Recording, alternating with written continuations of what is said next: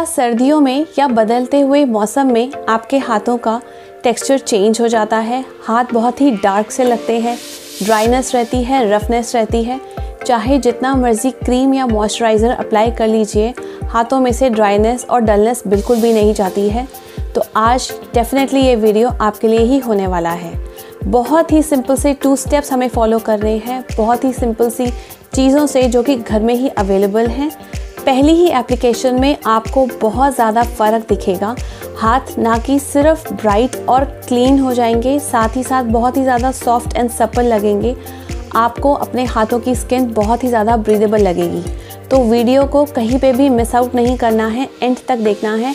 Otherwise आप कोई ना कोई स्टेप को मिस आउट कर जाए ऑलरेडी ये चैनल सब्सक्राइब कर रखा है तो थैंक यू सो मच और अगर अभी तक नहीं किया है तो जल्दी से सब्सक्राइब कर लीजिए, क्योंकि मैं अपने चैनल पर लाती रहती हूँ amazing D I product reviews and haul videos so without wasting any more time let's get started with the video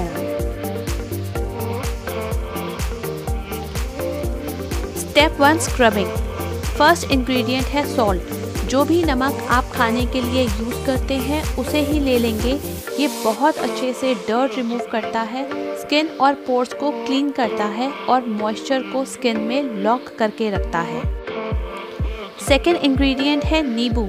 नींबू बहुत ही अच्छा एक्सफोलिएटर है एज एन ब्लीचिंग एजेंट काम करता है स्किन को लाइट और ब्राइट बनाता है. एक साफ़ कंटेनर में तीन टेबलस्पून नमक ले लेंगे और साथ में हम कुछ लेमन के स्लाइस ले लेंगे। अगर आपके पास बचा हुआ लेमन पील है तो वो भी काम आ जाएगा।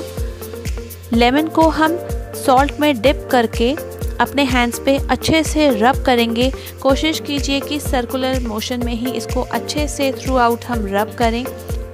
आप अच्छे से देख पाएँगे कि किस तरह से आपके स्किन से सारा डर्ट रिमूव हो रहा है और स्किन कितनी ज़्यादा लाइट और ब्राइट दिख रही है।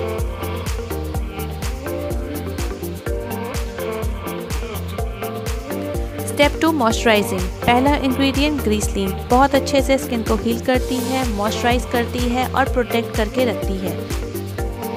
सेकेंड इंग्रेडिएंट है विटामिन ई कैप्सूल्स इवियन 400 ये किसी भी केमिस्ट शॉप पे ये भी आपको इजीली मिल जाएगी। और थर्ड है हमारा कोकोनट ऑयल कोकोनट ऑयल नहीं है तो आप ऑलिव ऑयल भी ले सकते हैं या ऑलमंड ऑयल भी ले सकते हैं।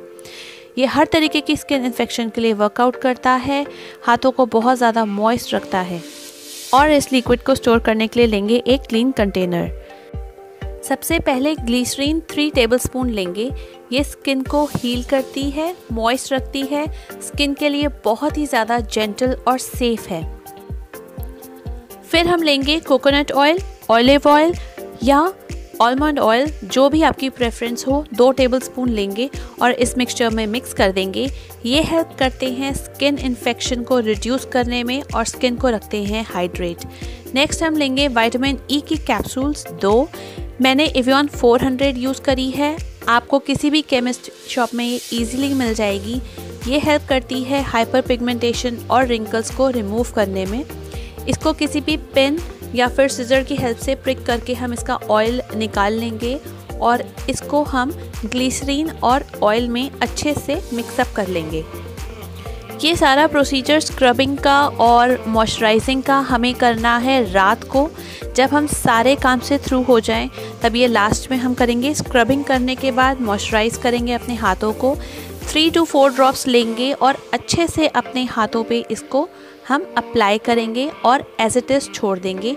बचे हुए लिक्विड को हम एक क्लीन कंटेनर में फिल कर देंगे। ये आपका वन मंथ तक बहुत ही ईजीली चल सकता है। इसको आप चाहे तो फ्रिज में स्टोर करके भी रख सकते हैं। बिल्कुल भी ख़राब नहीं होगा। आज का ये वीडियो आपके लिए हेल्पफुल होगा। अपना फीडबैक ज़रूर शेयर कीजिएगा। इंस्टाग्राम पे मुझे डीएम कीजिए अपनी पिक्चर्स अपना फीडबैक ताकि मैं उसको आगे भी और लोगों के साथ शेयर कर सकूँ। बहुत ही जल्दी मिलेंगे नेक्स्ट वीडियो में. Till then stay safe and be healthy see ya